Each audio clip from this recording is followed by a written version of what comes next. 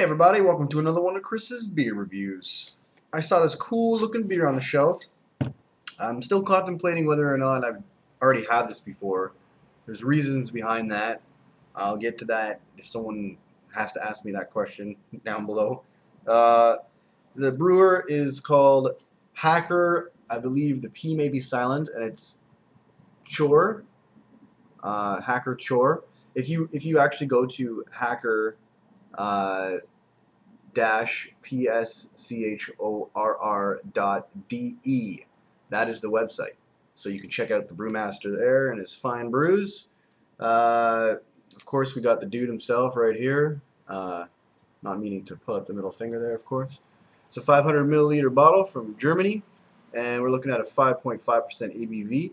And this is a Weiss beer. I love my Weiss beers. So we got this one brewed real cold. Uh, considering the amount of alcohol, I'm sorry, the amount of uh, beer we're going to be having in here, I want to pour it into this wonderful, you know, 500 milliliter Baltika glass. As you can see, kind of have like a growler head here. So I'm just going to be ripping off this. I don't want anything to obstruct the wonderful pop. Oh, I don't know if you saw that. It was very slow. Smells very much like a Weiss beer. Actually, I was at the beer fest yesterday and I saw something really cool. Uh, Great Lakes Brewery was serving a beer on tap, and it was a, a Weiss beer that was spelled W E I S S E. It's supposed to be pronounced Weiss, like Edelweiss. I didn't say anal vice, I said Edelweiss. uh, yeah, so the whole point of me bringing this up is they had a, a cool beer that was called Miami Vice, spelled W-E-I-S-S-E, and I thought that was really clever. Anyways, uh, I really like this blue, you know, blue plastic finish here. I, every other uh, growler I've ever opened uh, had a red finish on it, so that's cool. That's different. Anyways, let's get to the pour.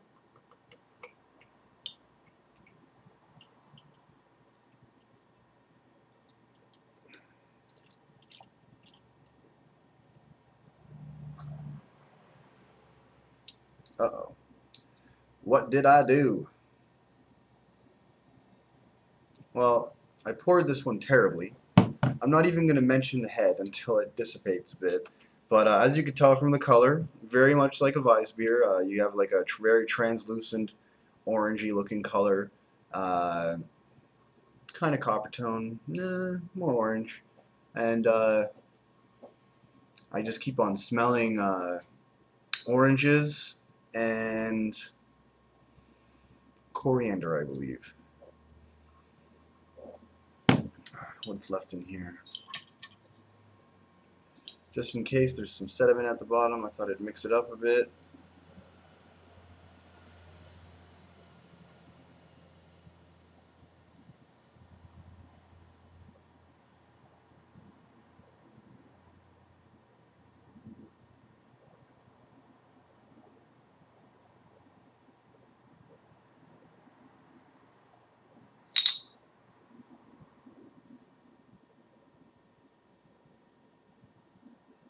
Alright, there's the most boring part of my video right there for you.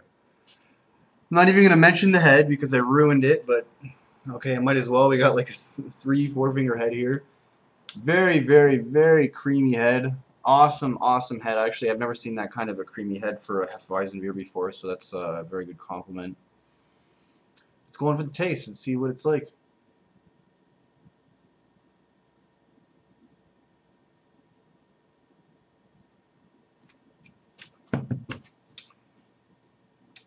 Some goodness.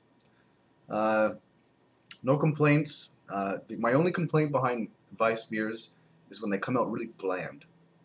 And this did not come out bland at all. It's uh, very well rounded. Starts off very refreshing, kind of like watery front. Um, slow transition into the uh, the back taste, and you immediately, you know, are starting to pick up on orange flavors. Um, coriander flavors, floral hops, that kind of stuff. Now, if I read the ingredients on the back here, it says, well, it's not in English, but I'll do my best. Here we go. Sorry, I found it in English. Water, uh, malted wheat, malted barley, yeast, and hop. So it might not be talking about oranges or uh, coriander is in there, but you got to realize that when you're dealing with ingredients on beers, they don't have to show everything if it's not unhealthy, right? Like, like if it's a chemical that's going to hurt you, of course you're they're obligated to put it in, but but sometimes they neglect to, to put in ingredients uh, on the ingredients that's just because they don't want you to know, you know how how it was made. Like, could be wrong, but any Hefeweizen style beer I've ever had, I usually taste oranges in it or orange peels, uh, or or orange peel, you know, flakes that you can flake off, right? Excuse me. Um, so yeah, I'm I'm quite certain it has the ingredients that I've been talking about in here. You know what?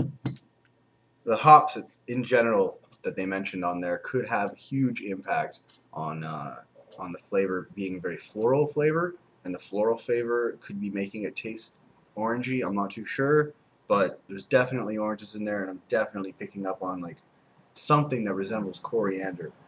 Uh, another thing that I wanted to mention was that it says that it has malted barley.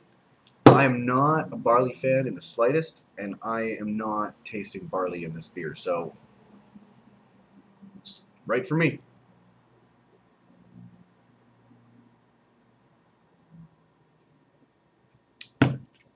Very well-rounded beer.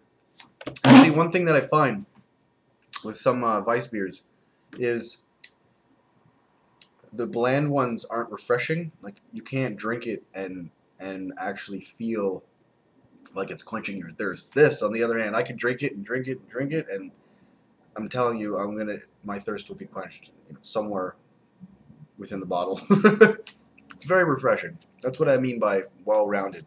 It's got to be all around. Uh, the front taste, middle taste, back taste, and most importantly, is it refreshing?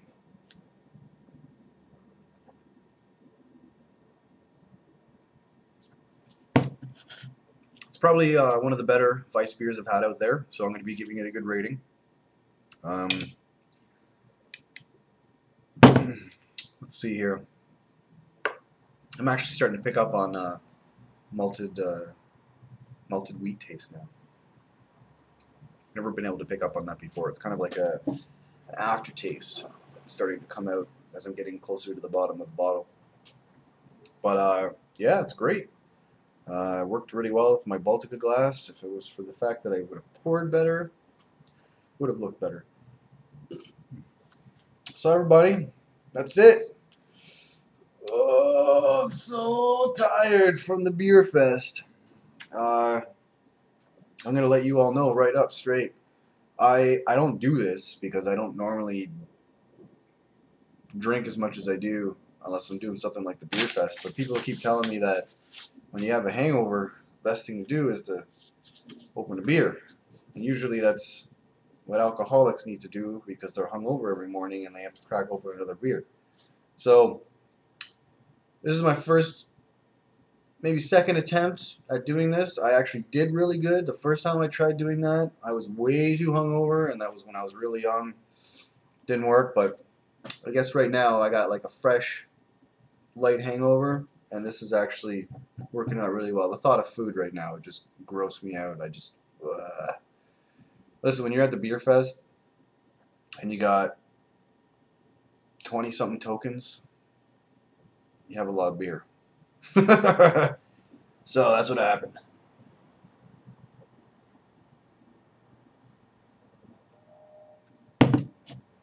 I'm really worried that I've already reviewed this beer but at the same time, I'm quite confident that I haven't. So, if this says re-review on there and I haven't mentioned it at all, now you understand why, people. Alright, this is great. It's not changing anymore. It's the same taste. Uh, I'm going to cut it short because my reviews are usually pretty long. Being the wonder taker that I am, no edits. Uh, so yeah, thanks for joining me on another one of Chris's beer reviews. Don't drink and drive, but drink responsibly. Cheers.